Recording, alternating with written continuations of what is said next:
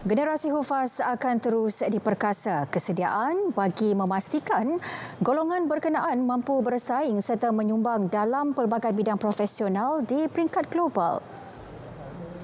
Timbalan Perdana Menteri Datuk Seri Dr. Ahmad Zaid Hamidi berkata dasar pendidikan tahfiz negara telah memperkemas sijil tahfiz Malaysia 2.0, sijil perakuan hafazan bertahap dan skim pembiayaan hafiz turut diperkasa program eksplorasi TVET, pendidikan dan latihan teknikal dan vokasional dan tahfiz. Menerusi hantaran di Facebook, Datuk Seri Dr. Ahmad Zahid bersyukur atas kejayaan penganjuran himpunan 24K Hufaz yang disempurnakan Perdana Menteri semalam.